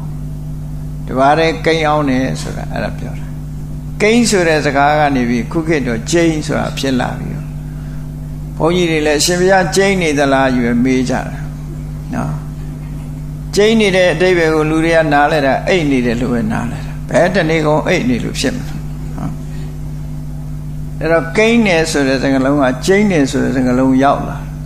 ဒီလိုဖြစ်တာနော်အဲ့ဒါလို့မြတ်စွာဘုရားတပါးတဲ့နေပိုင်းလေးမှာ ခိတခဏလဲလျောင်းနေဘုရားလဲလျောင်းတဲ့အခါမှာမြတ်စွာဘုရားဆိုတာကိုယ်ကာယဘယ်တော့မှမကြိမ်ဘူးဘုရားကျင်းလေးရှိတဲ့ပုံတရံကဘယ်လိုတော့လို့ဆိုရင်လက်ရပဲစောင်းပြီးတော့မြတ်စွာဘုရားလက်ရောင်းတယ်လက်ရပဲမှာစောင်းတယ်လက်ဝဲပဲမစောင်းဘူးလက်ရပဲစောင်းတယ် လက်ရနန်တောင်းဘက်ကိုစောင်းပြီးတော့ဘယ်ချိန်ထမယ်ဆိုတော့ဘယ်နှမိနစ်ခိတခဏနားမယ်ဆိုတာကိုစိတ်ထဲမှာသတ်မှတ်ပြီးတော့ပါရိပါဒံအစ္ဆရာယလက်ရခြေတောက်ပေါ်ကိုလက်ဝဲခြေတောက်တင်တဲ့အခါမှာတဲ့တဲ့ကြီးတင်ထားလို့ရှိရင်ခြေမျက်စိနှစ်ခုကတဲ့တဲ့ထပ်နေလို့ရှိရင် အယိုးချင်းပုတ်တိုက်ပြီးတော့နာကျင်မှုဖြစ်စေတယ်။ဒါကြောင့်မို့အစ္ဆရာယဇင်းငယ်လွှဲဖယ်ပြီးတော့ထားတယ်။တချို့ကလည်းလွန်ပြီးတော့ထားတယ်လို့ဆိုတယ်။အမှန်လွန်ထားဖို့တော့တော်ခက်တာနော်။အပေါ်ခြေထောက်ကိုဒူးလေးနည်းနည်းကွေးလိုက်လို့ရှိရင်ခြေမျက်စိချင်းမတိုက်တော့ဘူးပေါ့ရွှေသားလျောင်းတွေပါတွေသွားပြီးတော့ဖူးတဲ့အခါမှာတတိထားဖူးခြေထောက်နှစ်ဖက်ဇုံထပ်ထားရင်တော့မဟုတ်ဘူးအဲ့ဒါ ဘုရားအဲ့လိုမကြိမ်ဘူးခြေမျက်စိချင်းမထပ်ရအောင်နည်းနည်းလေးလွှဲပြီးတော့ချိန်နေရှိတယ်ပေါ့လက်ရဘက်ကိုစောင်းပြီးတော့မြတ်စွာဘုရားချိန်ဆက်တယ်ဘာဖြစ်လို့လက်ရဘက်ကိုစောင်းတယ်လဲလို့ဆိုတာစာပေကျမ်းကမှာတော့မပြဘူးလက်ဝဲဘက်မှာတော့နှလုံးရှိတယ်ပေါ့နော်နှလုံးရှိနှလုံးဘက်ကိုဖိမထားဘူးပေါ့ အဲ့တော့လက်ရဘက်ကိုမြတ်စွာဘုရားကိုရမြလျောင်းဆက်ပြီးတိဟတိယတေယလို့ခေါ်တယ်မြင့်မြတ်တို့ပုဂ္ဂိုလ်ရဲ့အိပ်ဆက်ခြင်းလို့ဒီလိုအိဗယ်ရမှာချွတ်ရချင်းသေးတို့ရဲ့အိပ်ဆက်ပုံအိပ်ဆက်နည်းမြင့်မြတ်တဲ့ပုဂ္ဂိုလ်ရဲ့အိပ်စိတ်ပုံအိပ်ဆက်နည်းနဲ့မြတ်စွာဘုရားခိတ္တခဏပန်းဖြေနားနေတယ်တဲ့အဲ့ဒီမှာအိပ်ဆက်မှုအိပ်ဆက်ပုံ စတိုင်လို့ပြောတာပေါ့အိတ်တဲ့စတိုင်ကလည်းအမျိုးမျိုးရှိသေးတယ်နော်ကာမဂုဏ်ချမ်းသာခံစားတဲ့ပုဂ္ဂိုလ်တွေကြတော့ဘယ်ဘက်ကိုစောင်းအိတ်တယ်တဲ့ကာမဘောဂီတေယလို့ခေါ်တယ်ကာမဂုဏ်ချမ်းသာခံစားတဲ့ပုဂ္ဂိုလ်တွေကဘယ်ဘက်စောင်းအိတ်လို့ရှိမြတ်စွာဘုရားကြတော့ညာဘက်ကိုစောင်းအိတ်တယ်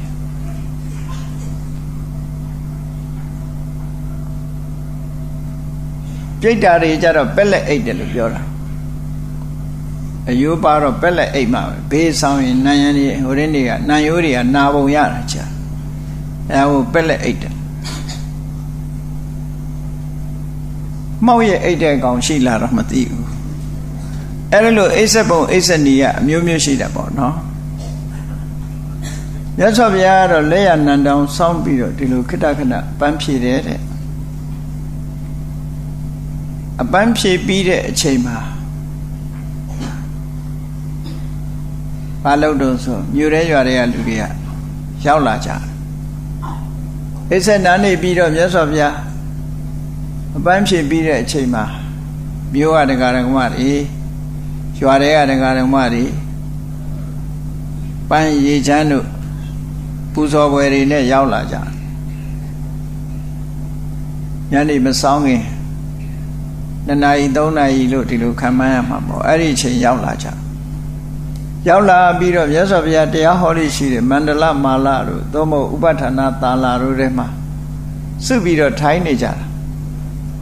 အဲ့ဒီအချိန်မှာမြတ်စွာဘုရားကအချိန်ကြီးကြည့်ပြီးတော့တခါတခါတကူနဲ့ကြွသွားတယ်တဲ့တခါတခါကျတော့တမန်လန်းကပဲကြွသွားတကူနဲ့ကြွတယ်ဆိုတဲ့အခါမှာပိဋကတ်တွေ အမှတ်မထင်ထိုင်းနေတဲ့အချိန်မှာတရားပလင်မော်မြတ်စွာဘုရားဘွားကနေပေါ်လာတာဒီလိုဟာမျိုးအဲ့တော့ပရိသတ်ကိုထိုင်တဲ့အခါမှာပရိသတ်မှာထိုင်တဲ့အခါမှာခုနတော်ရဲသွားပြီးနေတန်ရနေတဲ့ကိုတော်တွေလည်းပြန်ရောက်လာကြတယ်ဘုရားတရားဟောတော့မယ်ဆိုရင်ပြန်ရောက်လာကြပြီလို့မြတ်စွာဘုရားထိုင်တာကအဆောက်အဦကြီးအခုလိုဓမ္မယုံကြီးအရှိကြီးမဆောက်ဘူးအဲ့ဒီခက်ကအဝိုင်းကြီးဆောက်တာ စကွဲရဆောက်တာမန္တလမာလာလို့အဝိုင်းအဝိုင်းမှာအလဲတိုင်းကြီးပါတယ်အဲ့ဒီအလဲတိုင်းကြီးကိုကြောပေးပြီးမြတ်စွာဘုရားကအရှိဘက်ကိုမျက်နှာလှည့်ထိုင်တယ်ယဟန်တန်ဃာတွေကမြတ်စွာဘုရားကြောဘက်ကနေပြီးတော့အရှိဘက်ကိုမျက်နှာလှည့်ပြီးအနောက်ဘက်ကိုကြောပြုတ်ပြီးတော့ဝိုင်းပြီးထိုင်ကြတယ်အဲ့တော့ဘုရားကအလဲကောင်ရှေ့က ကြံတဲ့ယဟန်တွေကနောက်ကျောကအုပ်စုတစ်ခုဖြစ်သွားတရားဓမ္မတွေကအရှိဘက်နံရံကိုကြောပေးပြီးတော့မြတ်စွာဘုရားဘက်ကိုမျက်နှာလှည့်ပြီးတော့ထိုင်လိုက်တဲ့အခါကျတော့ဘုရားဟာယဟန်နေနဲ့တရားဓမ္မတွေရဲ့အလဲဘဟုမှာမြတ်စွာဘုရားရောက်သွားတယ်ပေါ့လို့ဆိုတာနော်ထိုင်ပုံထိုင်နေရခုမြန်မာပြည်မှာထိုင်တဲ့ပုံစံမဟုတ်ဘူးဘုရားအလဲကောင်းမှာထိုင်တာ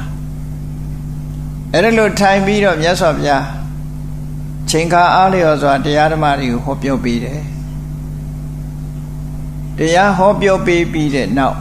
အချိန်ကာလကိုကြည့်ပြီးမြတ်စွာဘုရားတရားပွဲသိမ့်လိုက်တဲ့အခါမမှောင်ခင်လူတွေကလည်းကိုယ်အိမ်ကိုပြန်ကြတယ်ပေါ့ခါစောစောပဲမြတ်စွာဘုရားပေးတိမ့်လိုက်ပြီးတော့ပြန်ကြတယ်အဲ့ဒါလို့ ညနေနေဝင်ရိုးကြီးလူတွေအကုန်လုံးပြန်သွားပြီဆိုတဲ့အခါမှာ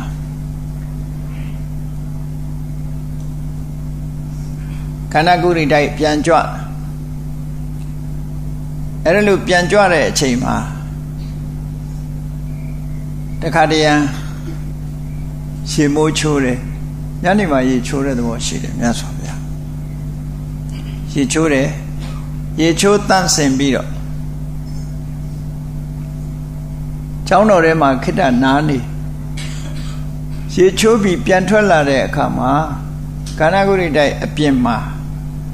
ဝကြုံငယ်ပြုတဲ့ကိုတော့နေရာထိုင်ခင်းလေးခင်းပေးထားဘုရားအဲ့ဒီမှာထိုင်ထိုင်နေတဲ့အခါမှာတရားရံဝါတွေပြန်သွားတော့ဘသူတွေရောက်လာတော့ဆိုခုန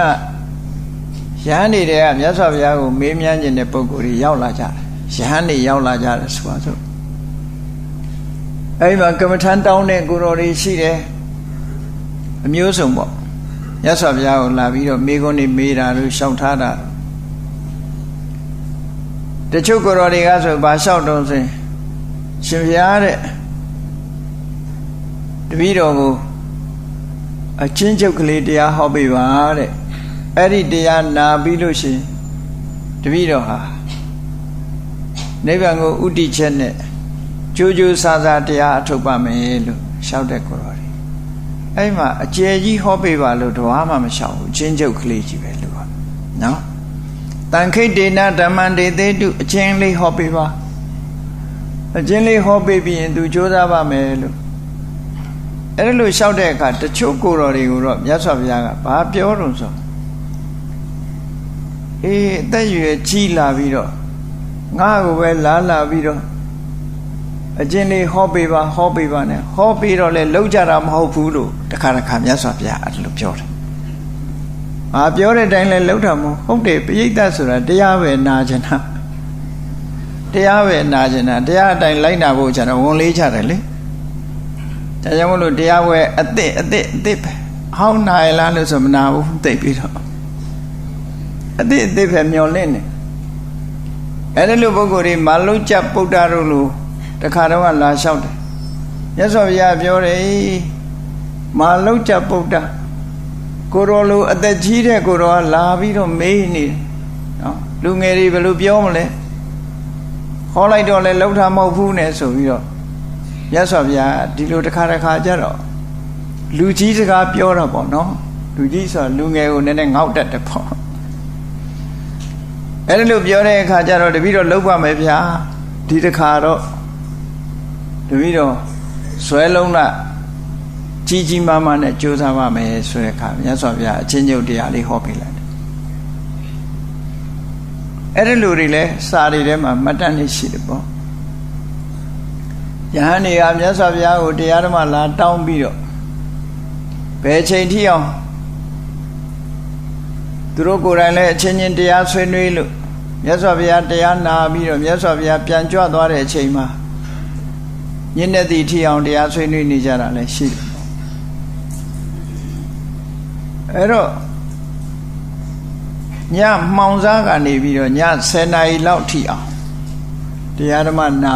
မြတ်စွာဘုရားရှင်ကိုရမြတ်ကဒီပုရိမယာမခိစ္စယဟန်တန်ဃာတွေကိုတရားဟောပြောတဲ့ကိစ္စပြီးတဲ့အခါမှာကဏ္ဍကုရိတိုက်တဲ့ပြန်ကြွတယ်ပြန်ကြွပြီးတော့ခိတ္တခဏ အပန်းဖြေနားနေအဲ့ဒီမှာတဏီကုံတရားဟောရတာပင်မလို့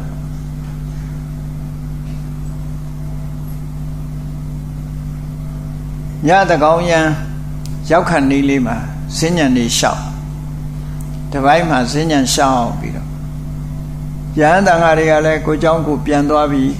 ဘုရားရှိမှမရှိတော့ဘူးဘုရားတစ်ပါးတည်းရောက်နေပြီ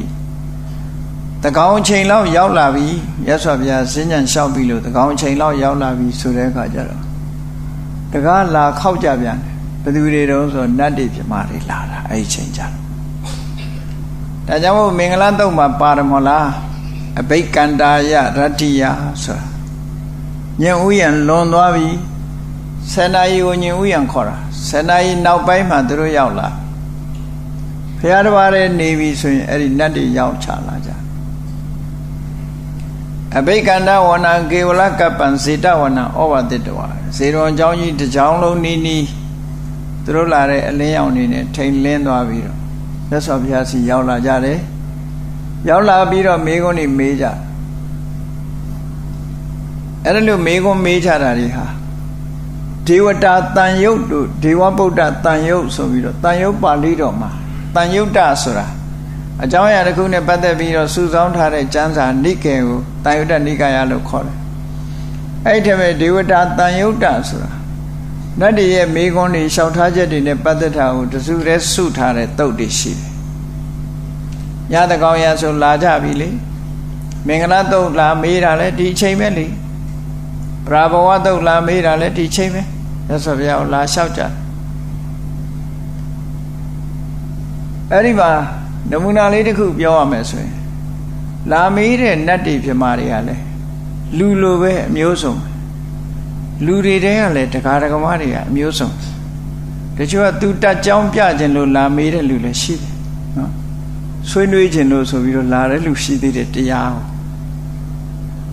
သူသိတာကိုလာပြခြင်းနဲ့ဆိုပြီးတော့ဆွေးနွေးဖို့လာတဲ့လူတွေလည်းရှိတယ်ခဏခေတ်တောင်ရှိတာပဲဒါတည်း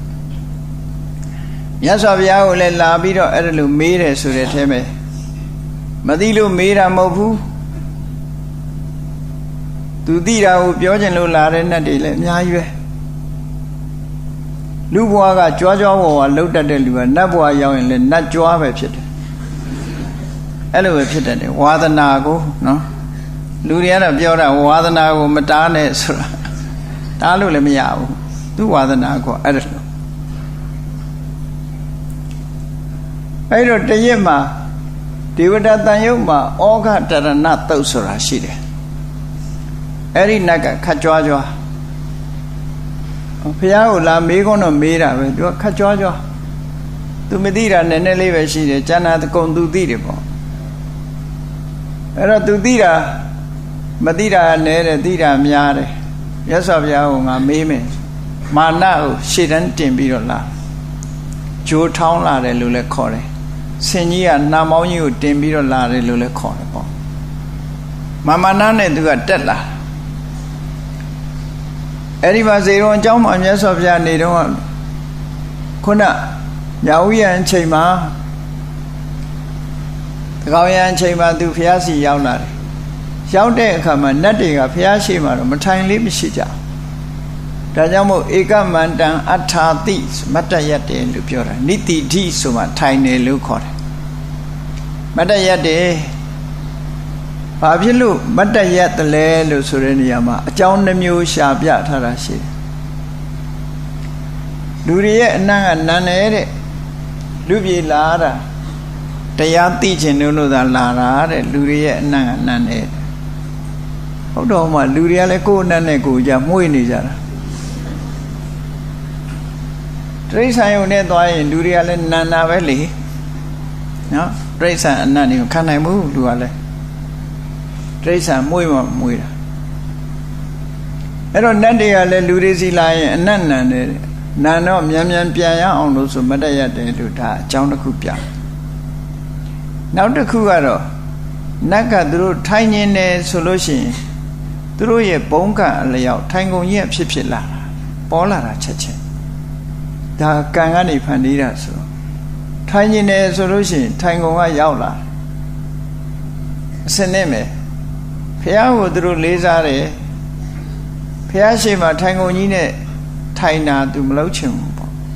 ဒါကြောင့်မို့လို့လဲမတ်တရက်တယ်လို့ဒီလိုလဲဆိုလို့ပေါ့နော်ဒါလည်းဖြစ်နိုင်တာအဲ့တော့ဒီဩခတရဏဆိုတဲ့မေခွန်း ဩခဆိုတာတောင်ကြရေလိုတဟုန်တိုးထိုးဆင်းလာတဲ့ရေတွေတဝဝစီးဆင်းနေတဲ့ရေတွေကိုဩဃလို့ခေါ်တယ်။ဟောတောင်ကြရေဘာပဲဖြစ်ဖြစ်တောင်ကြရေနဲ့တွေ့ရင်အကုန်ကြောက်တုံးကြီးတွေလည်းမခံနိုင်ဘူးတစ်ပင်ကြီးတွေလည်းမခံနိုင်ဘူး။ဘယ်သူပဲဖြစ်ဖြစ်တိုင်မျောနှစ်မြုပ်သွားတဲ့ရေစည်းတန်တဲ့အနေထားတစ်ခုအဲ့ဒါကိုဩဃလို့ခေါ်တယ် ဝဲဩဃလို့လည်းသုံးတယ်ပေါ့တရဏဆိုတာအဲ့ဒီဩဃကြီးကိုဒီအမတန်ရေစည်းတန်တဲ့ရေစည်းချောင်းကြီးကိုဟိုဘက်ကရောက်အောင်ဘယ်လိုဖြတ်ကူးမလဲဆိုရယ်မိကွန်ပေါ့တင်စားပြီးတော့သုံးတာအဲ့ဒီတောင်ကြရည်တွေဟာဖြတ်ပြီးတော့သွားဖို့လွန်ခက်တယ်ဆင်ကြီးတွေတောင်ပါသွားနိုင်တယ်ပေါ့မတန်ရေစည်းတန်ညမပြေပါဆိုလို့ရှိရင်မကွေးဘက်သွားတဲ့ဒေါင်းသေးချောင်းတို့ဟော တောင်ကြရည်ကြလာပြီဆိုဖြတ်မကူးနဲ့ကူးရင်ပါသွားတယ်လို့ပြောတာပဲအဲ့ဒါလို့အမတန်ရေစည်းတန်တဲ့နေရာမျိုးတွေဒီနေရာမှာဆိုလိုတဲ့ရေစည်းတန်တယ်လို့လူတွေကို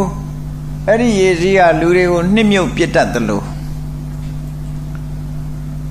တရားတွေကိုတန်တရားကိုဆင်းရဲထဲမှာတိုင်မျောပြီးနှစ်မြုပ်ပြစ်တတ်တဲ့သဘောတရားတွေက ကာမဩဃဘဝဩဃဒိဋ္ဌိဩဃအဝိဇ္ဇာဩဃလို့ဆိုပြီးတော့ဩဃလေးပြတန်တရားလို့ဆိုကြတဲ့အတိုင်းပေါ့အမှန်တန်အရှိန်အုံနဲ့ဖြစ်တာဖြစ်သောကြောင့်တန်တရားထဲမှာမြုပ်သွားနိုင်ကြတယ်ပေါ့လူတွေကာမဩဃဆိုတာအရှိန်အုံနဲ့လာတဲ့မျက်စိကမြင်ရတဲ့အဆင်အာယုန်တွေตายရတဲ့စိတ်ตายရတဲ့လောဘ အတန်ဒီပေါ်မှာตายရတဲ့လောဘအနတ်ပေါ်မှာตายရတဲ့လောဘအယတာပေါ်မှာตายရတဲ့လောဘခန္ဓာကိုယ်အထိတွေ့ပေါ်မှာตายရတဲ့လောဘကာမဂုဏ်အာယုန်တွေပေါ်မှာတွဲနေတဲ့လောဘအဲ့ဒီလောဘဟာအရှိန်အဟုန်ပြင်းနေတယ်တန်တရားထဲမှာမြုပ်မြုပ်သွားတာသူ့ကြောင့်မို့လို့မြုပ်တာတဲ့ဒီတဏှာကြောင့်မြုပ်သွားတာယူဆိုတာပဲသူ့ကြောင့်မြုပ်သွားတာ အဲ့ဒါကိုကာမောကကာမဩကလို့ခေါ်တယ် sensual pleasure အာယုန်ထဲမှာကျင့်တ်ဆရာကောင်းတဲ့အာယုန်တွေအဲ့ဒီကျင့်တ်ဆရာအာယုန်တွေကနေပြီးတော့ယုံထွက်နိုင်လားဆိုမထွက်နိုင်ဘူးအဲ့ထဲမှာပဲမြုပ်သွားတာပဲလူပါဒါကြောင့်မို့ဩကလို့ပြောတာဘဝကဆိုတာအဲ့ဒီကာမတွေကိုယုံထွက်သွားနိုင်တော့သွားလို့ သဗ္ဗရကျင့်စဉ်တခုကျင့်လို့အောင်မြင်ပြီးတော့ဟောရူပဘုံအရူပဘုံပြမာတွေဖြစ်တယ်ဆိုတဲ့အချိန်မှာလဲစံမောမှာတွေ့တာတဲ့တဏှာဆိုတာလာပြန်တာပဲရူပဘုံအရူပဘုံကိုတွေ့တာတဲ့တဏှာလာပြန်တာအဲ့ဒီတဏှာလည်းအလွန်ကြီးမားတဲ့တွေ့တာမှုကသူ့ကိုလည်းယုံထွက်ဖို့ဖြတ်ကျော်ဖို့အလွန်ခက်လို့သူ့ကိုဘဝကလို့ခေါ်တယ်ဒိဋ္ဌောကဆိုတာတော့မှားရွေးတဲ့အယူဆတရားအမြင်တစ်ခု အဲ့ဒီအမြင်တစ်ခုကလည်းပဲစွန့်လွတ်ကြော်လွှားဖို့ရအလွန်ခက်သည့်အတွက်ကြောင့်ဒိဋ္ဌောကလို့ခေါ်တယ်အဝိဇ္ဇောကဆိုတာကြတော့အမှန်မသိတဲ့အဝိဇ္ဇာအဲ့ဒါကအမှောင်ကြီးဆိုတော့ကြော်ဖြတ်ဖို့အလွန်ခက်တယ်ပေါ့အဲ့ဒီလိုဩဃနဲ့ပတ်သက်ပြီးသူကမေးခွန်းနေမေးချင်တယ်အဲ့တော့မြတ်စွာဘုရားစီရောက်ပြီးတော့ဘုရားကိုသူခေါ်လိုက်တာကိုက ကထံမာရိတတွန်ဩဃမထရီတဲ့မာရိတဆိုတဲ့စကားလုံးကနတ်တွေသုံးလေးရှိတဲ့စကားလုံးမာရိတဆိုတဲ့စကားလုံးကိုသူ့အဓိပ္ပာယ်ပြန်မယ်ဆိုရင်ကိုလူဆိုတဲ့အဓိပ္ပာယ်မျိုးပြောတာနော်တငယ်ချင်းဆိုတဲ့အဓိပ္ပာယ်ခေါ်တာပဲမာရိတငါလူလူပေါ့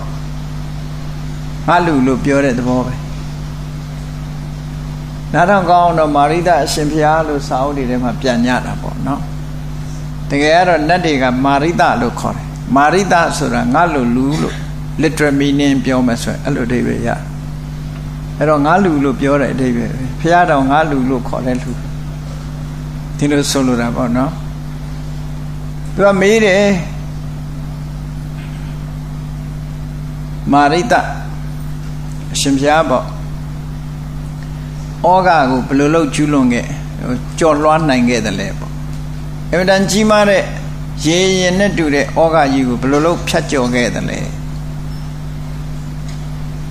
ဖျားဖြစ်နေတယ်ဆိုတော့ဒီဩဃကိုဖြတ်ကျော်မှဖျားဖြစ်မှာဟုတ်နော်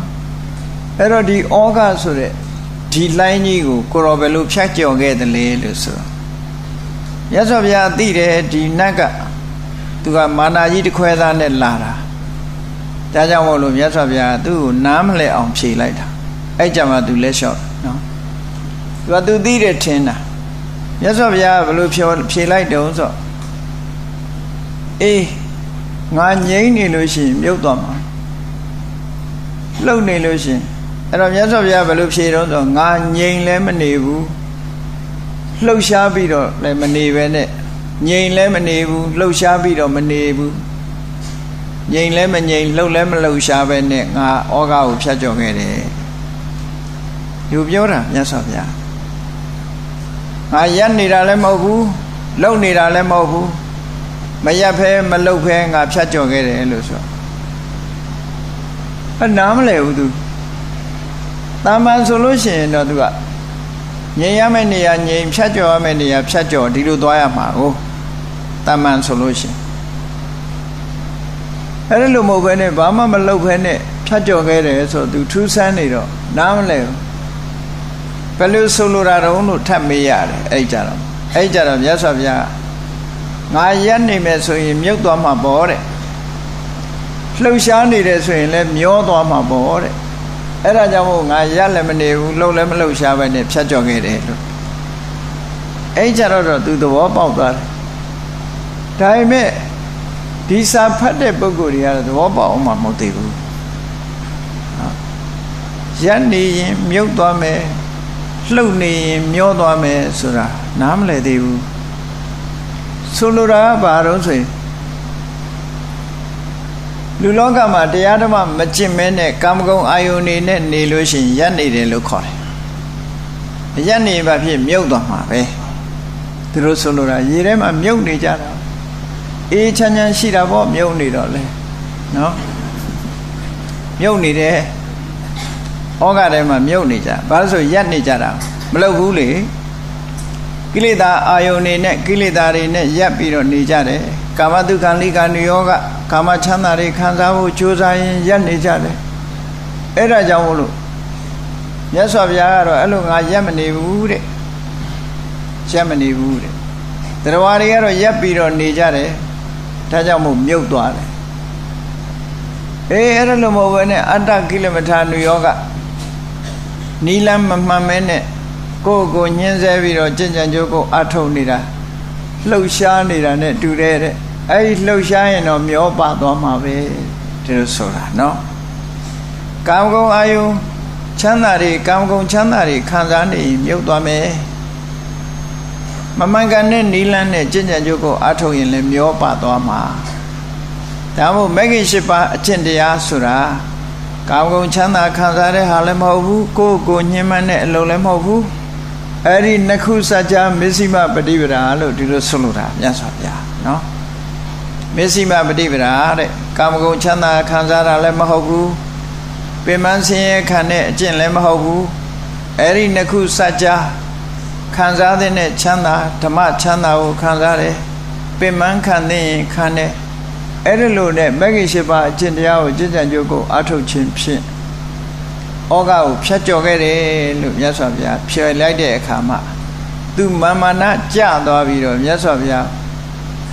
ဒီလိုပုဂ္ဂိုလ်မျိုးကိုဖူးကျင်နေတာကြာပြီတဲ့ခုမှဖူးရပါတယ်ဆိုပြီးတော့ဝမ်းမြောက်ဝမ်းသာပြောပြီးပြန်သွားလေရဲ့အဲ့ဒီနတ်ကဒါကဒေဝတာတန်ရုပ်စာအုပ်ကိုဖတ်ကြည့်ပေါ့နော်ဒါအချင်းချုပ်ပြောတာဩဃတရဏသုတ်ဆိုတာရှိတယ် အဲ့ဒါလို့လာပြီးတော့မေကုံးမေးတဲ့နတ်ကရှိသေးတယ်အဲ့ဒါလို့ညတကောင်ရံမှာဆိုလို့ရှိရင်နတ်တွေပြမာတွေရောက်ရောက်လာပြီးတော့မေကုံးနေမေးကြအဲ့တော့နတ်တွေမေကုံးဖြေးနေရတာနဲ့တကောင်ကြော်သွားရောမြတ်စွာဘုရားမိုးတော့ရံပဲနောက်ဆုံးရံပစ္စည်းပစ္စည်းမယံခေါ်တာပေါ့အလယံဆိုတာနိုင်ပြန်နှစ်ချက်လောက်ထိပေါ့ နတ်တွေမေးတာကိုဖြေးနေရတာနိုင်ပြန်နှစ်ချက်လောက်ထိသွားတယ်အဲ့ဒီဟိုပိုင်းရောက်တဲ့အခါကျတော့မှမြတ်စွာဘုရားဟာခိတခဏ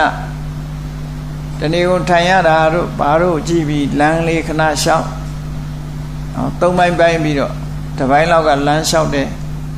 လမ်းလျှောက်ပြီးတော့ညောင်ညာပင်မတယ်ဆိုရင်ခိတခဏချိန်ဆက်တယ်ဥဋ္ဌာဏတင်ညာမနတိကတ္တဝဘယ်ချိန်ထမယ်ဆိုတာလောက်ပြီးတော့ အဲ့လိုခိတခဏနာနဲ့မလင်းခင်လေးခဏလေးချိန်ဆက်ပြီးတော့ခုနနာနဲ့မိုးတော့အလင်းရောက်တဲ့အချိန်လေးမှာအိယာကပြန်ထားတယ်လို့ဒီလိုဆိုတာအဲ့ဒါနေ့စဉ်လုပ်ငန်းတစ်ခုပဲဒီတဲ့မဲ့ညနေအချိန်မှာရသော်ဗျာလောကသားတို့ရဲ့အကျိုးကိုတည်ပိုးဖို့အတွက်ကျိုးပန်းအားထုတ်ဖို့အတွက် လောကကြီးကိုကြည့်ရှုတဲ့လုပ်ငန်းတစ်ခုရှိသေးတယ်။ညနေချိန်မှာကြည့်တယ်။နာနဲ့မိုးတော့အလင်းရောက်တဲ့အချိန်မှာကြည့်တယ်။အဲ့ဒီနှစ်ချိန်လောကကြီးကိုကြည့်တယ်ပေါ့။အဲ့ညနေချိန်ကြည့်တဲ့အခါကျတော့ညပိုင်းရောက်မှဆိုတော့ညပိုင်းဆိုတဲ့အခါကျတော့မြတ်စွာဘုရားစီလူစုမှာပေါ့။ညပိုင်းကြည့်တဲ့အခါမှာကြည့်ပုံကြည့်နေမတူဘူး။မနေ့စောစောကြည့်တဲ့အခါကျတော့ဟိုးအဝေးကနေပြီးအနီးကိုဆွဲကြည့်တာ ညနေကြည့်တဲ့အခါအနီးကနေချက်ကြည့်တာအဝေးထီအောင်ဒီလိုကြည့်တယ်လို့ဆိုတာပေါ့နော်ကန္နဂုရိပတ်ဝန်းကျင်ကနေပြီးတော့စัจ java လာဆုံးသည့်ထီအောင်မြတ်စွာဘုရားကြည့်တယ်အဲ့လိုကြည့်ပြီးတော့နတ်ပြမာတွေလာတဲ့အခါမှာတရားဓမ္မဟောပြောတာတွေပေါ့နော်အဲ့လိုနောက်တည့်ရဲ့နန်းနဲ့မိုးတော့အလင်းရောက်သည့်ထီအောင်မြတ်စွာဘုရားအိတ်ဆက်နားနေတဲ့အချိန်လေးကအလွန်တရာမှနဲတယ်ဒါကို ဗုဒ္ဓကိစ္စ၅ပါးလို့လည်းခေါ်တယ်မြတ်စွာဘုရားရဲ့နေ့စဉ်လုပ်ငန်း၅ခုပုရိပတ္တကိစ္စနာနဲ့ပိုင်းမှာလုပ်တဲ့လုပ်ငန်းပစ္ဆပတ္တကိစ္စနေ့လယ်ပိုင်းမှာလုပ်တဲ့အလုပ်ပုရိမယာမကိစ္စညင့်ရှေပိုင်းမှာအလုပ်လုပ်တဲ့ပုရိမယာမအလုပ်လုပ်တဲ့ကိစ္စမစ္စည်းမယာမကိစ္စအလဲယံတကောင်းယံမှာအလုပ်လုပ်တဲ့လုပ်ငန်း ပစ္စည်းမယာမကိစ္စနောက်ဆုံးရမှာအလုံးလုံးတဲ့လုပ်ငန်းလို့ဆိုပြီးတော့မြတ်စွာဘုရားဟာနေ့နှစ်ပိုင်းညသုံးပိုင်းပိုင်းပြီးတော့မြတ်စွာဘုရားရဲ့ daily routine ပေါ့နော်အချိန်စရာဟာအဲ့ဒီတိုင်းလှုပ်လှုပ်တယ်ဆိုတာထက္ကရာတွေထဲမှာမှတ်တမ်းတင်ထားတာဒီလိုသိရှိကြအေးဒါကြောင့်မို့တရားချစ်ခင်သူတော်စင်ပြိဿပေါင်းတို့လောကသားတို့အတွက်မြတ်ဗုဒ္ဓရဲ့ကြိုးပမ်းချက်ဟာ တရက်လည်းမဟုတ်ဟောတနှစ်လည်းမဟုတ်တလလည်းမဟုတ်တနှစ်လည်းမဟုတ်တက်တော်ရှိသမျှကာလပတ်လုံးဒီလုံးဟာနေစဉ်နဲ့အမျှကျူပန်းအထုတ်တော်မူတာဖြစ်တယ်ကို့အတွက်ဘာတစ်ခုမှမပါဘူးတရားဝရရဲ့အကျိုးအတွက်မြတ်စွာဘုရားလင်ဟင်းမှုမရှိအောင်လုပ်ငန်းကိုလုပ်တော်မူတယ်ဆိုတာကိုသိရှိကြည်ညိုကြပြီးတော့ ဘုရားနုတ္တိဘာဝနာကမ္မထံကိုပွားများအားထုတ်နိုင်ကြပါစေကုန်သတည်း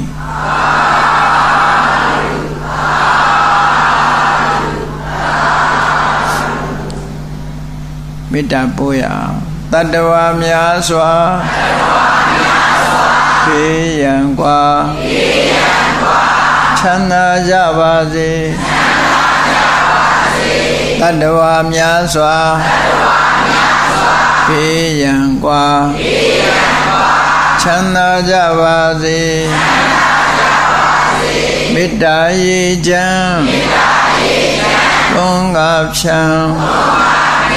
ငြိမ်းချမ်းကြပါစေမေတ္တာရေချမ်းသုံးကားဖြံငြိမ်းချမ်းကြပါစေ သက်ရှိကျမ်းမာစိတ်ချမ်းသာလူရဆန္ဒပြည့်ပါစေသက်ရှိကျမ်းမာစိတ်ချမ်းသာလူရဆန္ဒပြည့်ပါစေဖုံလန္တာဒုက္ခပင်ကစားမေတ္တာပုံနေဒုသင်္ကမာ မနောတရတိတဝေတံပဝါယန္တုဒုက္ခနကမေတ္တာပုံနေဒုသင်္ကမာစုပေါင်းပုအမေတ္တာတဟုရောင်မြူပါဝင်းငွေလမင်းနှင့်ရောင်ခြင်းရှဲယုံပေါင်းဆောင်ရခြင်းကြောင့်တဗေတံကျွင်းမဲ့ဥဒုံလုံးစုံများစွာတတ္တဝါတို့၏မနောတရတိမြင်မြဖြူစင်အေးကြည်လင်းသည့်ရေစဉ်ပြည့်တင်းစိတ်နှလုံးတည်ဟုသောရေအိုင်ကြီးအတွင်၌ ဒုက္ခပင်ကစားစင်ထာဝရအေမြจิตာတာယာပွင့်လန်းချမ်းသာဒုက္ခတည်းဟုသော ကုမုဒ္ဒရာဂျာဗန်တို့သည်ဖုံးလန္တာဝန္တာရွှေမြူဝမုံလူလျက်ကြည်နူဝဲကြုံဖူးပွင့်ညအကုန်သည်ဖြစ်၍သူကဏကလေအောင်လေးတဲ့ရောရှက်သင်ပြန့်ပိတိတိဟုသောယနန်းတို့သည်